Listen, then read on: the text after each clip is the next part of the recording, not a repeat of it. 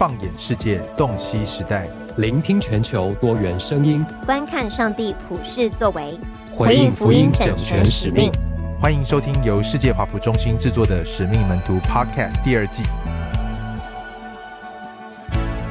啊，今天我们很高兴邀请到在加拿大温哥华圣道堂的主任牧师王礼志牧师 George Wang 来和我们分享。那今天很特别的是，不是由我来访谈，而是邀请到舒翔来主要访谈 George 牧师，因为舒翔他人就住在温哥华，也参加过这个温哥华圣道堂的聚会。啊，舒翔，你可不可以跟我们简单的分享介绍一下王礼之牧师以及圣道堂是一间什么样的教会？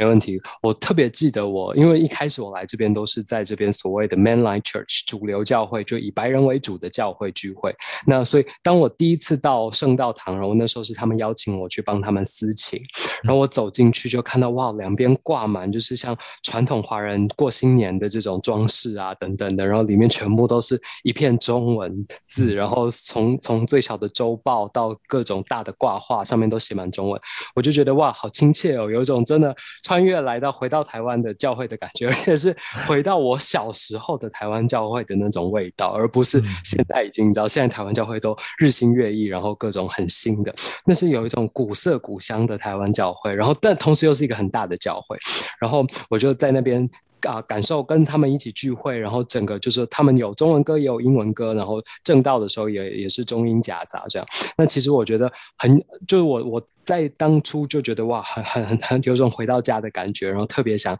认更多认识这个教会。那同时在跟他们谈过几次话之后啊，我们这个找我去聚会的这个牧师，他也把我介绍给王牧师，然后王牧师就特别听到我在呃也在温哥华念神学读神学院，他就觉得哇很很好，然后就。一直跟我聊天，然后问我说，在啊，不管在神学学习上啊，然后在这边生活有没有什么需要？我那时候就觉得哇，王牧师是一个好温暖的属灵长辈，同时又听到说哇，他以前是在啊神学院教书，那我觉得这就更更令我有兴趣了，因为我就非每一次我都在思考说，呃，是就说在神学上跟教牧现场的连接，那。有一个这样子过去在神学院教书的，然后现在到了教牧现场第一线去牧会，我就特别想听他的所有的啊心思啊，或者是他自己为什么会愿意经历这样。大家都觉得好像神学院教书是比较轻松、比较容易，然后啊也比较自在的。那为什么他会愿意到这个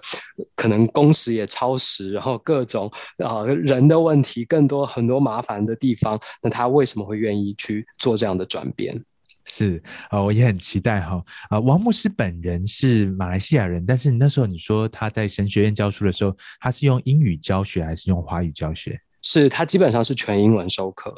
哦，所以他其实啊是在教学的时候是以英语为主，那但是现在在华人教会牧养。是没错啊，真的是很特别的一位牧师。那接下来我们一起来听听王牧师的访谈。非常谢谢。非常高兴今天能够跟你们分享。对，今天真的很开心，因为我之前自己也去了几次这个圣道堂，在温哥华，然后所以我在那边私情，然后特别是在 Bridge 的这个聚会，那 Bridge 的这个聚会，我觉得一开始就可以请教王牧师在 Bridge 的，就说为什么一开始会有 Bridge 这个很特殊的聚会的形式？基基本上，等下王牧师可以有给我们更多详细的介绍。基本上 Bridge 就是一个特别为一点五代的这个中文也很好，英文也很好的这个双语的。聚会，那王牧师可以可以大概跟我们介绍一下 Bridge 跟为什么一开始会创立这个特别的聚会吗？是的，Joshua，你刚才讲的就是啊，移民啊，他孩子们有的是十几岁来到加拿大，那么他们中文已经也很棒了，他们不但是可以啊讲，也可以读啊，这个看圣经，也甚至可以用这个中文来看。然后呢，他们工作呢也是用英语，所以他们是双语，啊，两两个语言都可以。所以在敬拜的时候，这啊聚会的时候，他们有的时候沟通的时候喜欢用中文，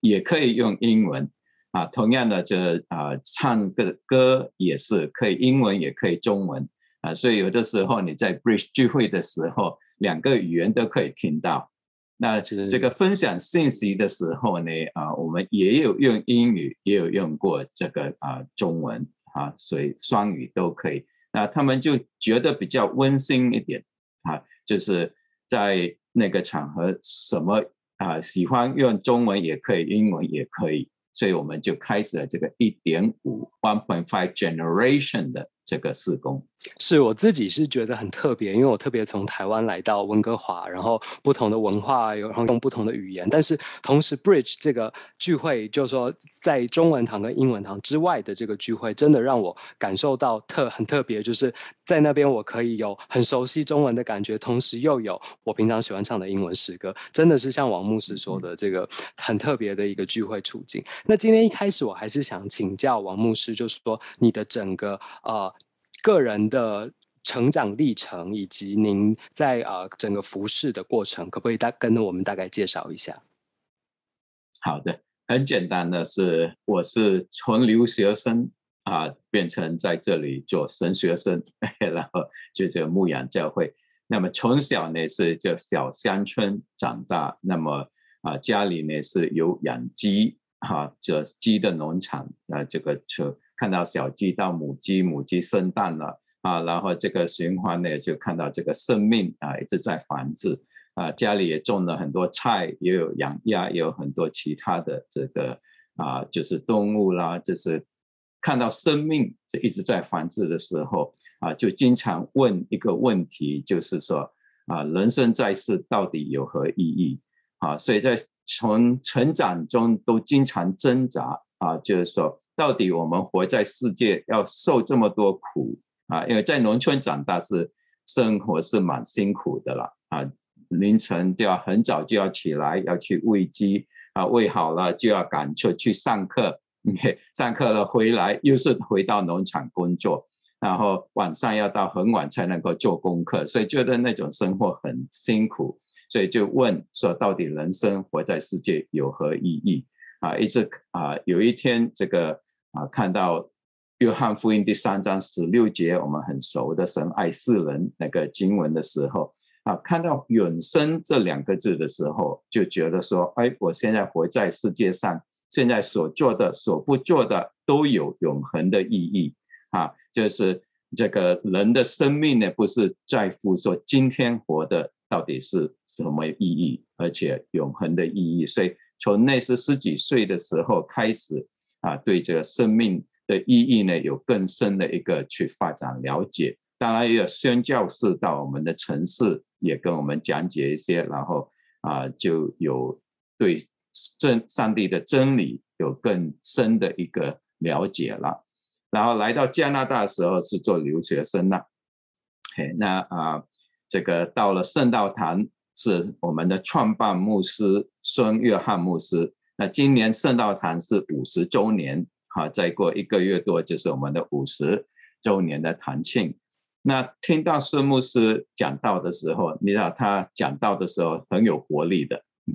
那他是这个宁波的口腔哈，所以说当初呢听他讲国语呢有一点吃力，但是慢慢的更啊容易了解他的分析。那有一次呢，他就啊。我毕业了以后，他就问说：“啊，看到你平常在团契里啊，在主日学教课啊，团契里带领做辅导啊，怎么有没有想过要训练神学啊？”就这么样的一句话啊，就开始进入了这个啊神学院。其实呢，我就啊蛮好玩的一件事情，就是我在还没有进神学院之前呢，是有在这里的一个杂。炸鸡的一个店哈，叫做 Church's Fried Chicken，嗯，所以我说从呀 Chicken Farm 到 Church's Fried Chicken，然后再到 Church 里侍奉，所以是这是我的啊简单的一个过程，然后就从那时开始呢，一在圣道堂啊，已经大概有四十三年的时间了。是王牧师是在马来西亚长大对吗？是的呀，嗯，马来西亚这个。啊，婆罗洲那边沙捞越一个小城市，是那王牧师从马来西亚特别到加拿大这么不一样的处境，有没有觉得就是说在文化上面的冲击啊等等？当您刚从刚成从成为一个留学生过来的时候，呀，感谢主，就是说马来西亚是一个多元文化的一个国家啊，所以啊，从多元文化呢，就是说来到加拿大，加拿大那时还可能还没有这么多元文化啊，到现在呢，当然我们看到是一个一个 mosaic，OK，很多元文化的一个啊国家了啊，所以说那时没有说很啊惊讶啊到这个这里的文化啊，但是在我那一九七几年来的时候呢，那时候呢就是很多在这里的加拿大人，他们是反中国人，他们到处你可以看到标志都是请中国人用不好听的那个 啊中国的名字，请中国人回去中国。啊，就在那一九七几年的时候，他们认为说我们中国人太努力了，把他们的工作都抢了，啊，所以说啊，那时候的这个啊情况就是这么样啊，要跟这个 Caucasian 一起相处不是那么简单，嗯，但是感谢主啊，我们这个努力的奋斗，可以努力的继续的跟他们建立友谊。啊，也很多中国人这里生意也聘了很多这个洋人，他们渐渐的，我就记得我的一个 economics professor，他是啊这里加拿大人，但是他在马来西亚做过啊这个 diplomatic 的 relationship as 他们的 financial consultant，他就因为看到这样的情况，他就写了五大篇的文章，说为什么加拿大需要移民。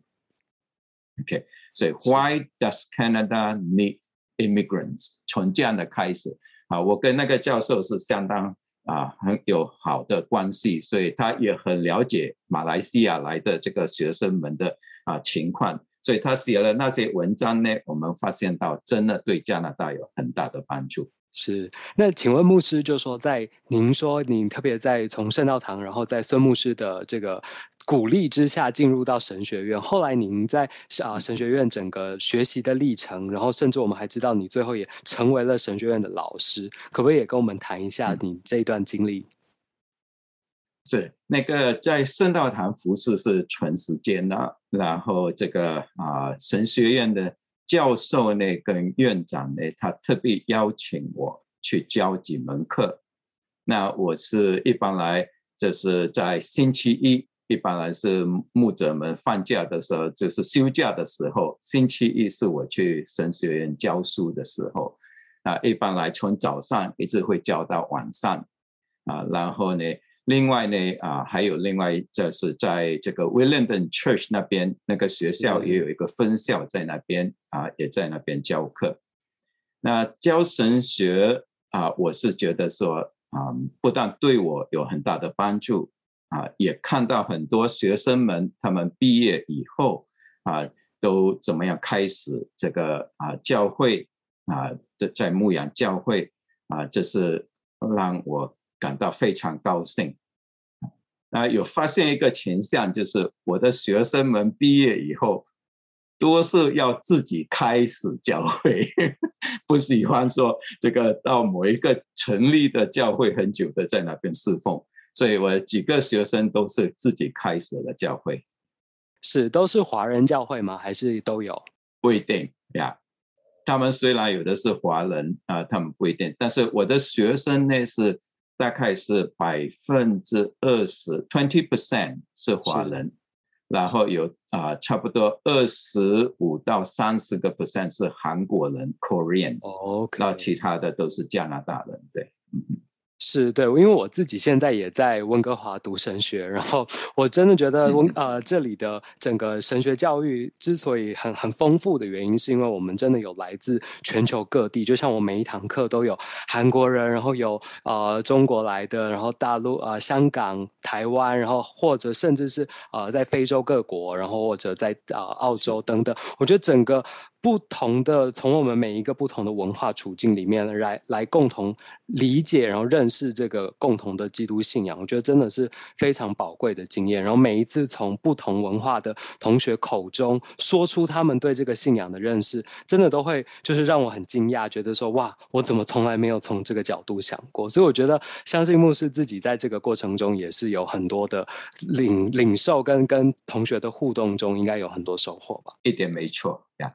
啊，可以了解到很多不同的文化的，真的是啊，让我非常高兴。那啊，也有好几位是这里的这个 First Nation 啊啊 First Nation 的学生呀，所以就啊，尤其这 First Nation 呢，就是因为他们以前有 Residential School 啊，就是寄宿学校里面的一些的呀，对呀，所以原住民呢这些呢啊，学生们出来分享他们的经历啊。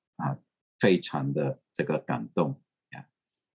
没错，我觉得这个多元文化处境也是我特别想请教呃牧师的一个点，就是特别在呃这个圣道堂，即便它是以华人为主的教会，我们也知道就是在。整个圣道堂的使用的语言上就有中文、英文，然后或者还有少数用粤语、广东话的也都有。然后特别在呃整个圣道堂里面，中文堂、英文堂跟 Bridge 里面真的是跨年龄层、跨文化又跨语言，甚至还有跨族群的。那不知道牧师特别在牧养这样的教会，然后带领整个这么多不同的呃族群的时候，都会不会遇到哪些困难？然后毕竟就说在每个族群跟每个文化。之间都有自己在意的议题，甚至每个世代在工作的、在呃退休生活的等等，都有很多自己不同在意的议题。不知道牧师怎么看这个，然后怎么兼顾，或者说怎么帮助他们，然后甚至彼此之间有没有对话的机会？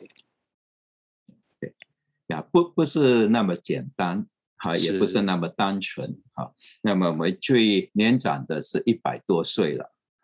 啊，这一一百零五岁的还在，OK，啊，就是啊，最年轻当然就刚刚生出来的了哈。然后我是觉得说，虽然是这个叫做这个 Chinese Church 哈啊华人的教会，但是我们是多元文化的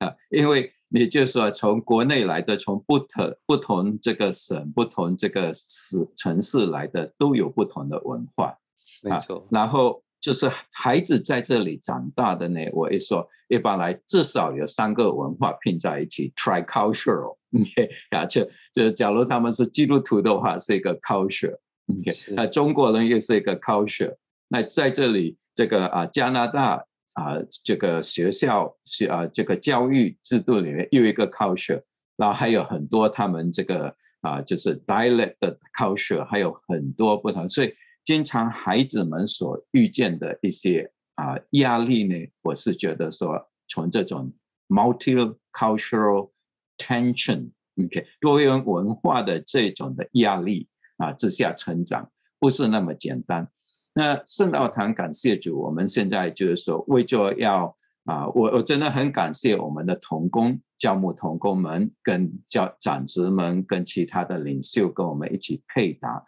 没有的话呢，根本没有办法啊。所以圣道堂啊有一个特殊，就是啊，无论在哪一个年龄，我们都有一个爱的团契，还是一个生命小组，还有查经班，他们都可以参加的。那啊，童工里面呢，我们有这个啊儿童的节目啊，那个是可以说你可以以不同的这个儿童的语言啊这些啊。Children language 来跟他们沟通啊，所以说无论是动画啦，还是其他的这个啊教教导的方式来搞 be play 了这些啊，那到了青少年的时候，挑战性就多一点了。所以我们这个青少年是请个 CBC Canadian Born Chinese 是在这里长大的啊中国人，然后呢，他是在这里啊，也在圣道堂就是。成长的一个，今天是啊牧师了，他前年被安利成这个牧师。那么我们英文的呢是请这个啊 Reverend Howard，他是这里土生的加拿大人，但是他的太太是中国人。OK，那中国他是在马来西亚长大的。那这位加拿大人的牧师啊，这。啊，Pastor Arthur Howard，他是在马来西亚 OMF 做这个啊宣教士，做了快有十年的时间，然后又在 UBC 做这个 University Christian Ministry，OK 啊，跟国际的学生在那边侍奉了十多年的时间，然后他想要有教会的这个经历经验，他就参加了我们跟我们我们邀请了他，所以英文部的我们是以这样的来去啊，就是说啊，给弟兄姐妹们他们所需要的啊属灵的这个带领啊。那中文部的呢，我们也感谢主，就是啊，因为从国内移民的很多，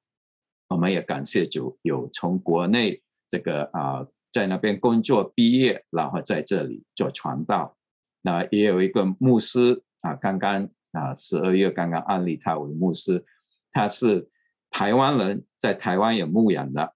但是他的太太呢是从这里生土土生的加拿大人，到台湾去教英语，他们称为夫妻，所以他是回到自己的国家，但是先生就带回来了，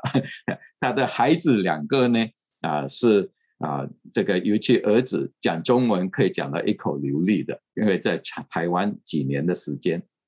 所以说我们就虽然说有不同的文化，当然我们有许牧师跟我们同工有二十多年的时间了，OK，那么啊，在这段时间呢，我们就看到说啊，上帝他都准备有这个同工啊，无论哪一个年龄，无论。什么文化，我们都有看到上帝的恩典，祝福我们有很好的同工一起配搭。是没错，我觉得听牧师分享，我觉得真的可以感受到，就是说在这个圣道堂里面，不同的。对，针对不同的族群，真的圣道堂都找到非常适合的童工，然后来这非常贴近他要牧养的这个族群。那我有另外一个问题想要请教牧师，就是特别在很多大教会，我觉得这真的是不分海内外，然后或者台湾、香港、大陆等等地区，都会有很大的教会面临，因为他需要。开始分众，因为他人数越来越多呢，他需要分众的时候，于是就有青少年变成有自己的聚会，然后有有的有以年龄层划分，那有的以语言划分，有的以不同文化来划分。那在划分的同时，当他们分的越开的时候，就好像我。我比如说以我在 Bridge 为例，我可能就跟中文堂和英文堂的人都不熟，然后我也不认识他们，但是我们又是在同一个圣道堂的这个名字下面，那我就不知道牧师觉得说要怎么来建立这个家庭式的归属感，就是说我们即便在不同的中文堂、英文堂，或者是有的教会是在青年团、青年的聚会，有的是在呃成人的聚会当中，那我们。还是要建立这种家庭式的归属感，这件事重要吗？那应该要怎么建立？对，非非常重要。所以我们最啊，从童工开始，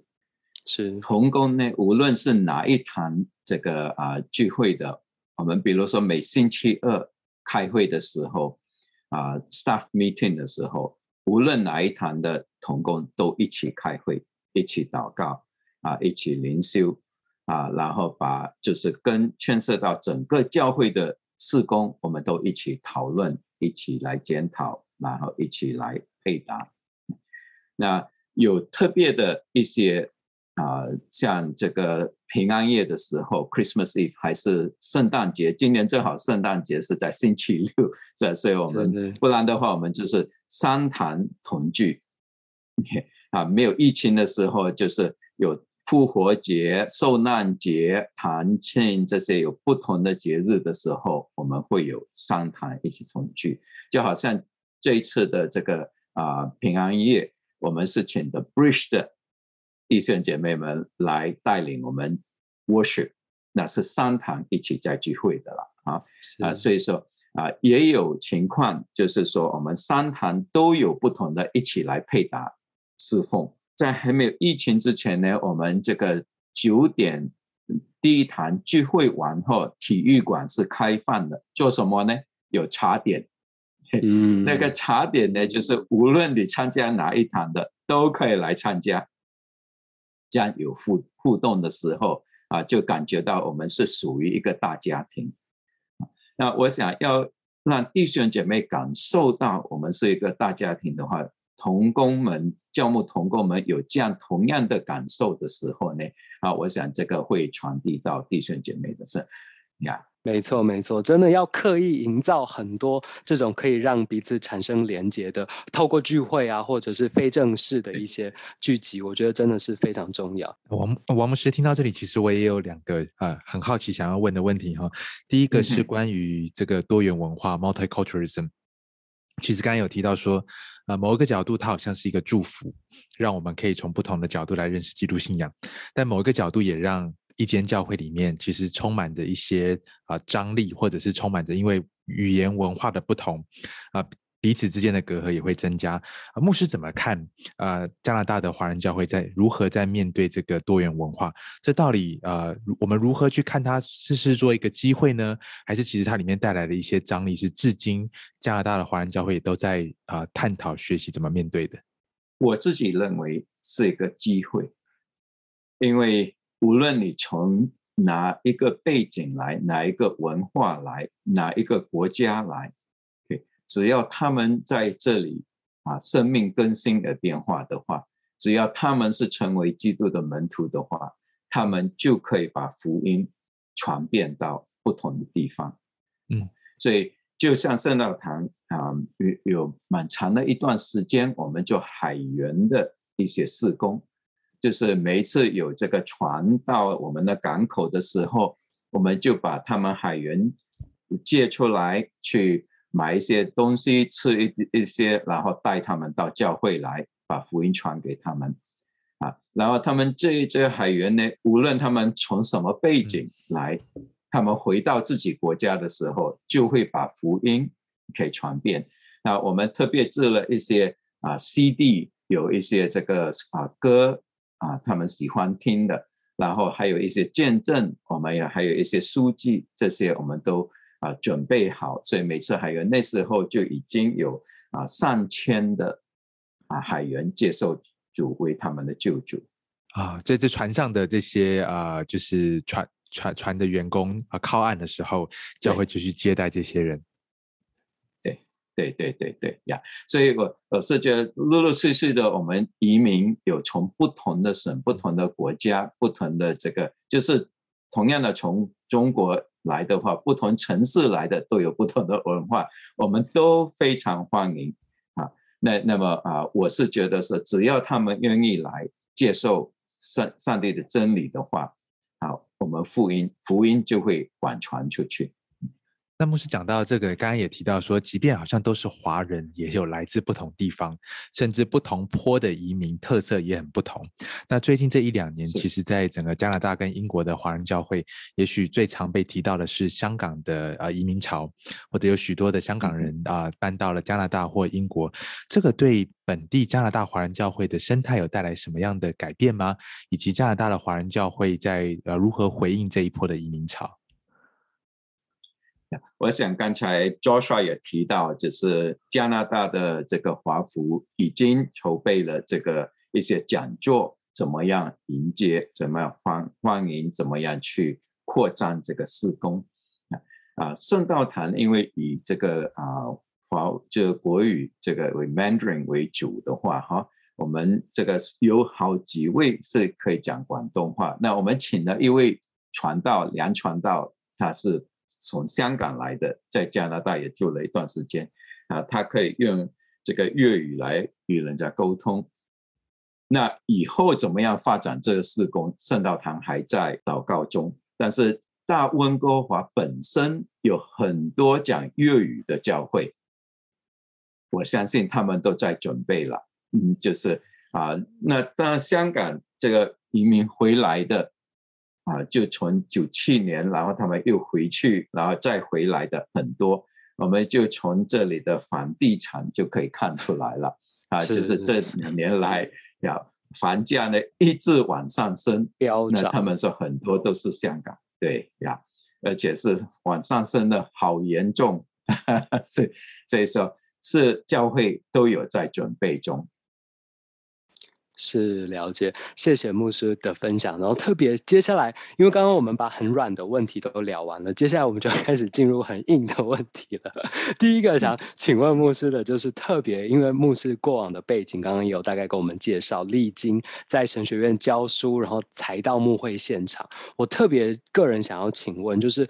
牧师觉得在神学的教育上，跟您现在在这个教会牧会的第一线，你觉得嗯两者比较而言，哪一个比较具有挑战性，或者你自己比较喜欢、更享受哪一个？更享受的当然是这个教神学院啦，啊，这个教神学学生们，因为你这个啊可以分享，不但是。听他们分享，我们也可以分享我们自己的生命。然后，最我我最高兴的一件事情就是说，看到真理真正的能够生活化。是。那在教神学的时候呢，啊，比如说啊，我无论是教四经学也好，教这个神学本身啊，本来我是开始的时候都是教这个啊，systematic theology。系统，然后我又教了 systematic 系统神学，然后我又教教这个 biblical theology，然后我又教了这个 integrative integrate 不同的这个 theology 啊，那嗯，从那个角度来看呢，啊，我就啊觉得说，上帝的真理这个神学呢，可以真正的生活化。一生活化的时候呢，学生们学的呢，就觉得说。真的很实用，而且呢，可以跟真正的更新他们的生命啊啊！以前我自己学神学的时候，当然要背很多东西，呀，你你知道，尤其系统神学啦，还是这些啊教会历史了，要背那个什么年份什么的。但是教神学的时候，能够把它这个啊弄得更活泼的时候啊，他们学的就更有兴趣了啊。所以我除了教这个啊成人，我也有教一些这个就是啊 child psychology、child theology 这方面。那我自己在这个，比如说到了这个南非洲去做短宣的时候，我在那边训练这个啊那边的牧师传道跟教会的领袖们，我是花了几个星期啊，是教他们关于这个。辅导这一方面也是 counseling 啊，然后到了新加坡，那时这个啊，他们 gambling 啊 casino 还没有大开始的时候，哎，那时候我在那个神学院里面啊，教了大概有五六十个医生啊，还有这些啊护士啦，还有牧师啦、传道啦这些啊，讲专门教他们 addiction counseling，OK 啊，这个。啊，addiction 的这一方面，我们就所以说啊，我认为说教神学呢，你就立刻可以看到效果。然后在教会里面呢，啊，师傅呢，你要针对这么多人哈，有不同的背景啊，有的从不同的宗派背景，有的从不同的国家，然后不同的年龄啊，不同的传统的信念。啊，那还有这个年轻人新的一代这些啊，你单单听意见就头昏脑胀了哈。所以这然后呢，就好像说教会里你到底要让谁高兴呢？哈，当然我们说都是服侍上帝，我们要上帝最重要。但是面对的每一天都要面对不同的人，不同性格的人。当然问题有问题的也是有很多，我们需要帮助他们的都有不同的情况。啊，所以说教会里的侍奉跟这个神学教神学是两个不同的地方。但是呢，我因为同时在牧养教会，也同时在教神学，所以学生们每一次的这个 evaluation 回来呢，都是啊说非常感谢能够把社教会真正的实际的情况，能够跟他们做些 case study。那有这个 case study 的时候，他们就哦，我在以后我牧养教会，我应该怎么应用上帝的话语啊？怎么应用神学这方面是是，我觉得跟牧师刚刚讲出了我的心声，就是真的，就是说在好像神学院啊的学习啊等等，都是很快可以看到成效的。然后甚至我也跟我们的神学院老师聊过，他们说他们常常就是教完一堂课，然后期末的时候改到同学很多非常让他们眼睛为之一亮的这些啊 paper 论文啊，或者是这些报告，然后他们都觉得比你知道相对在牧养现场这样很花很多的时间、很多的心力，然后还看不到成效。来说，确实是好像当老师能够更快的得到自信，跟得到好像很马上就是啊，这这这这怎么应该就说可以马上的看到收收获，就是等等的。那不，所以我特别好奇，说是什么让牧师愿意最后就是全时间的花更多时间在牧养上，然后离开这个神学教育现场？嗯呀，其实那是也是因为教会的需要。OK，就是正好孙牧师退休了，那，孙牧师退休了，那就是啊，时间方面可能就不够分配了，嗯，因为就是教会的需要了呀，啊，那你假如说问我还喜欢教神学吗？我非常喜欢，是呀，所以呀，但是现在呢，我就是啊，到这个年龄呢，我是觉得说啊，看到很多神学。教授出来，OK 啊，他们所教导的方式也是很很 pragmatic 的啊，很现实的，而且是很实用的。我非常高兴啊，跟我那时学神学的时候不一样的。是，也想请教牧师，就说您您自己就说在两边，在教牧方面，在神学方面都有很长期的投入。那不知道牧师觉得神学跟教会的关系是什么？因为很多人常常觉得是离得很远的。比如说我自己也是主修系统神学，那这些三一论、基督论、救恩论，我实际学了，好像在牧会现场我都没有办法直接的。使用它，那或者是当我跟会友谈的时候，大家都打瞌睡，然后划手机等等。不知道牧师觉得神学跟教会的这个实际牧会教牧现场关系是什么？其实神学院跟教会呢，啊，这一段时间就是大概有有二十多年来，他们发现到我们这个神学院跟教会要有密切的关系。所以，Region College 有一段时间叫做 Unseminary。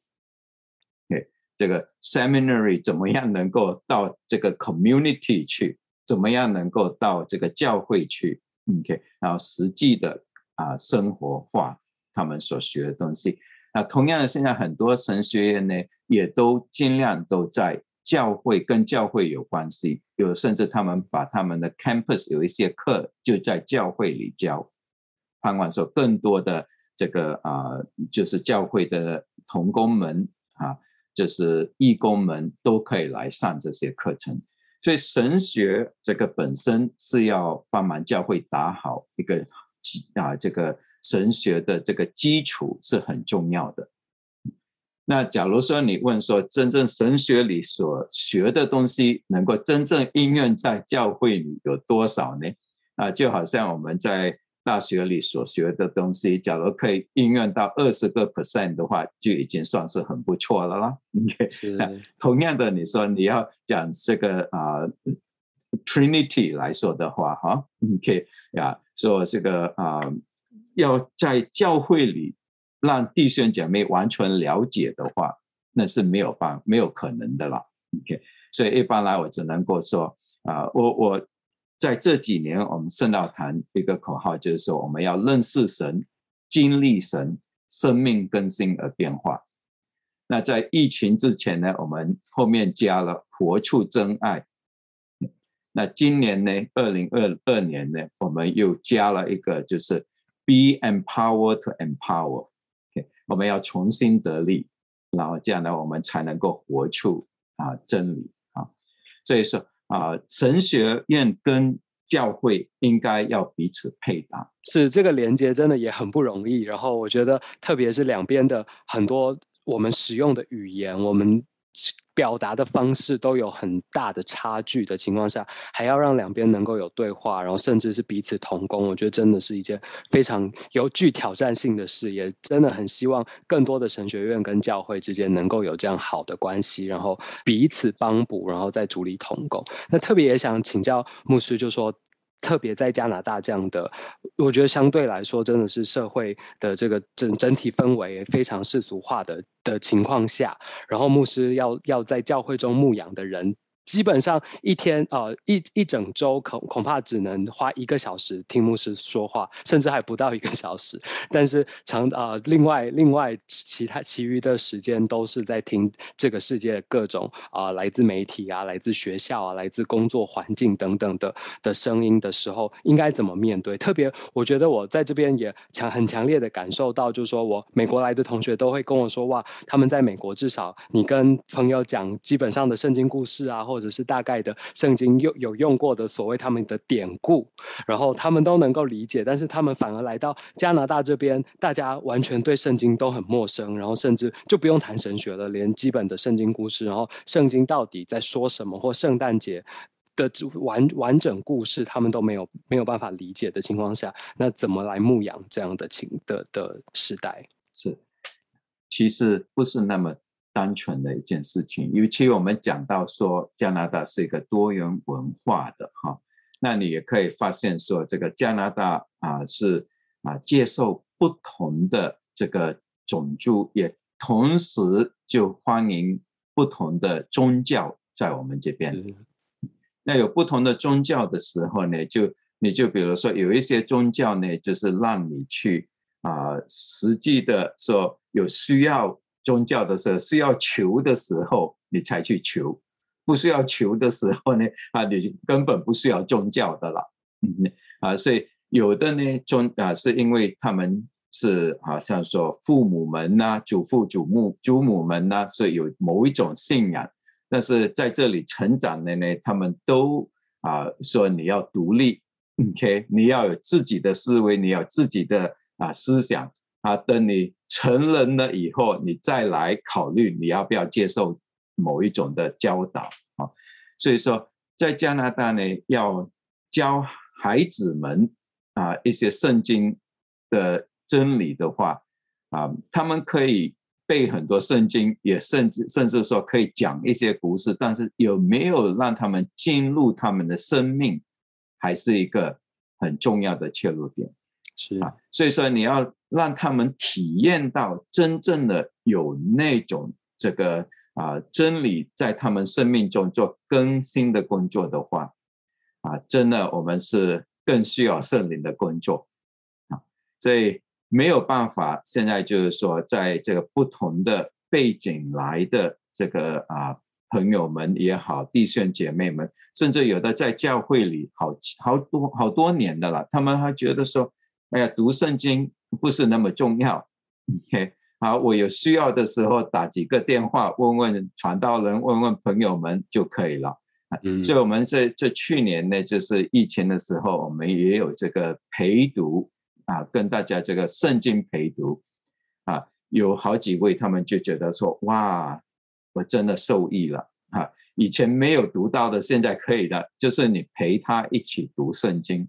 那还有其他。啊，家庭查经班当然也是一种方式，嗯，但是我自己有一个概念，就是说，假如我们知识太高的话，太多的话，没有真正生活化的话，我们也容易去批评论断别人。所以说，还是盼望弟兄姐妹们能够更多的去经历到神自己的真理的大能，圣灵的大能。我们才能够真正的有生命更新和变化。是，所以我们最近呢是强调见证，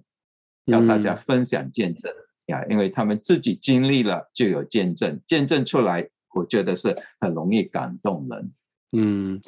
有没有特别的见证？牧师觉得是可以值得分享的。我我是觉得这个有几位，就比如说他以前的这个生活啊，是过得非常的，就是。没有一个道德的概念，只要说我有需要，OK，我我想做什么就做什么，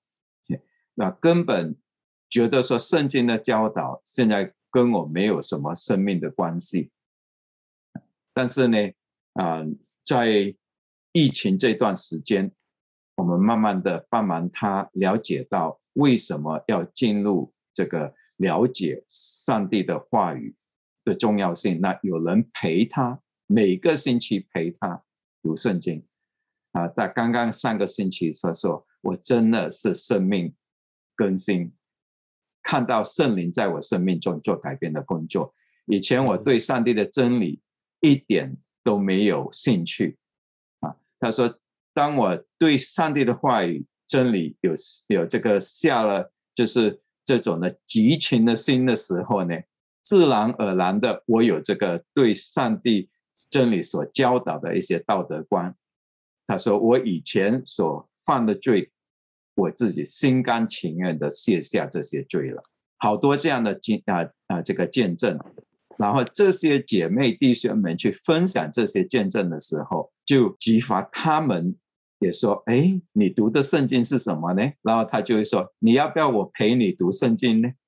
还是一个陪一个，另外又陪一个，就这样的一直传下去。”嗯，是，我觉得这这也是很好的这个门徒训练的一个方式，在教会内不断的透过。他又陪他读圣经的过程中，陪陪伴的这个人也自己也会得到很多，然后彼此彼此互相就像薪火相传这样，把这个对圣灵、对圣经的热情都传下去。我觉得真的很很值得我们学习。那另外还最最想请教牧师的这个有稍微尖锐一点的问题，但是因为牧师说什么问题都可以问，对吧？所以我就我就来请教牧师，就是特别因为很多很多这个在在北美的华人教会都面对。年轻世代的流失，那我们也知道，就是很多我包括我身边的人呢，都会觉得说，传统的在北美的这里的华人教会都比较呃思想比较传统，然后比较保守，然后对很多年轻人呃呃想要问的问题呀，比如说他们在学校学的东西，然后他们在跟朋友聊的话题，然后当他们想要在教会问的时候，好像就没有这样。足够的空间可以让他们问他们每一个想问的问题，然后他们只能在啊，包括辅导面前，在父母面前都表现出。辅导跟父母想要看到的样子，然后特别是啊，北美教会可能很多在跟这个社会的连接上，呃，北美的华人教会就比较不会像这边的白人教会跟社会跟整个文化是这么接近、这么贴近的，所以也会让他们变成说他们在学校互动的其实是白人同学，然后他们谈论的是这个加拿大。最近发生了什么事？但是华人教会好像父母在意的，就跟他们的生活也很脱节。不知道牧师有没有观察到这样的现象，然后觉得有什么好的解方吗？这个现象呢，一向来都有的。当然，现在就是加拿大呢，就是说很多方面在道德观方面的放松啊，也引起了很多家长没有办法接受跟接纳。就比如说，我们 legalize 这个啊 marijuana，然后还有这个啊 LGBTQ 的 sexual identity 的东西，然后再加上最近有 Bill C4 这些哈啊，所以这些政府所下定的一些这个政策，让父母们啊没有办法跟孩子们这个互动方面，能够以圣经教导的东西跟他们更深度的，因为。只要孩子听到父母强势的要他们听他们说圣经怎么讲的时候，立刻就会有反弹了。是因为在学校里，从啊十几年以前就开始教导说，我们要 tolerate，要容忍，OK，彼此之间要啊接纳，要容忍啊。所以 tolerance 这个字呢，就引起，所以说啊，那圣道堂呢，就是在这么啊。久以来面对的这些问题，当然是很挑战性的啊，所以我们一般来是在家长的这些啊，无论是姐妹团契啊，还有这个啊家庭的一些团契里面呢，我们会讲一些讲座，这些讲座呢，让他们能够更了解啊亲子们的关系怎么样能够逐进。所以，经常我们每一年至少有讲一两次、两三次，OK，针对做某一些问题，然后呢，啊，去这个帮忙家长家长们了解。那另外一点，我们就说也有做到的，就是就是呃有一个 open forum 的那种的方式，就是有一个 workshop 这些哈啊工作室这些，我们就让父母们、孩子们在同一个房间，大家可以发表他们的意见。OK，然后我们有 moderator，有 panelist 在那边，有专业的人，有辅导，有医生，有这个啊牧者们啊，都都在那边，然后可以有问答的时候啊。那么有没有发现有一个很重要的就是 parents teens night？OK，就是家长跟他们的青少年们啊，我们有一个特别的晚上，让他们也有这个 dialogue 的沟通的方式。所以这个是要不断的进行，然后也要帮忙青少年啊们怎么样去聆听父母的声音啊，父母他们有一些心声啊，父母有一些难处啊，所以说怎么逐渐这种的啊亲子之间的沟通，我想会帮忙到教会来回答这个问题。是，我觉得跨代的这个问题，就是说沟通上真的非常不容易，即便他们都可以说中文或都可以说英文。但是其实他们使用的语言还是不一样的，就是每一个时代、每一个年龄层都有自己习惯的语言模式，所以我觉得真的需要很多花很多的时间跟很多的心力在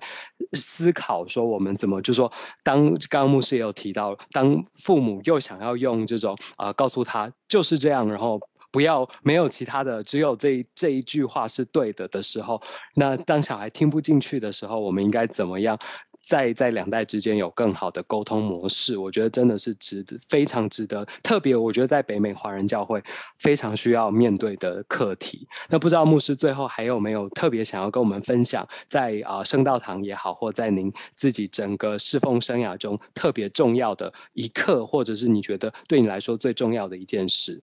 我想啊，这个关于北美。华人教会的挣扎，这个华富会也做了很多工作了，在这边。然后啊，像这个 Doctor Ina Wong 是王建安牧师，我记得以前也有跟他有一些沟通什么，然后他做了 research，我想你们都看过了。所以那个呢，他所做的写的论文呐，还有他啊所写的就是要聆听新新生呐，这些都是很对我们教会很大的帮助啊。那。我自己唯一的一个就是啊，要啊提醒，无论在哪里，我们都要以这个生命来影响生命。当我们 get empowered by the Holy Spirit，我们也同时要 empower，所以以生命来影响生命。是特别谢谢王牧师今天来到使命门徒当中跟我们分享，谢谢王牧师。哪里不客气。啊，谢谢舒翔，今天可以来跟王牧师这样聊一聊，也访谈，听到他的很多的经验谈。我自己最后也很好奇，想问舒翔，就是在你参加温哥华圣道堂这段时间，也跟王牧师有这些个人的接触的时候，你觉得啊，你个人从他们的教会或王牧师身上学到什么？或者是你觉得全球的华人教会可以从王牧师或者是啊他们教会当中，我们可以有哪一些的洞见学习？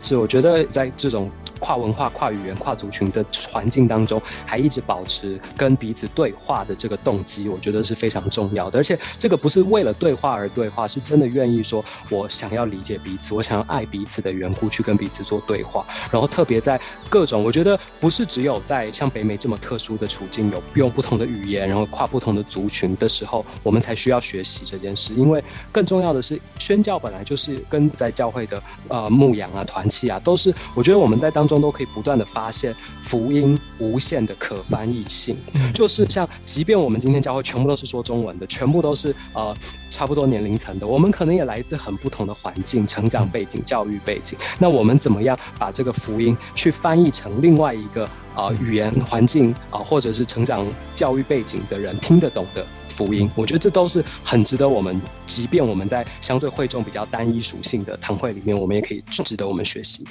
哇，其实这真的让我想到，呃，在很多时候，在一个教会只有单一语言的时候，我们都觉得不同世代之间很难沟通。但当我们看到加拿大的教会，他们在不只是年龄的差别，也在语言的差别，好几波不同移民之间的差别，他们仍旧努力的对话，彼此相爱的时候，我觉得也对。在语言相对单纯的教会，也是一个见证，也是一个提醒。是，如果在那样的环境都不能拦阻上帝的百姓彼此相爱、彼此对话，那在我们今天所在相对单纯的环境，是不是我们也更应该被也是这样被呼召彼此相爱、彼此对话呢？好，谢谢王牧师今天的分享，也谢谢舒翔的访谈。我们下周见，谢谢。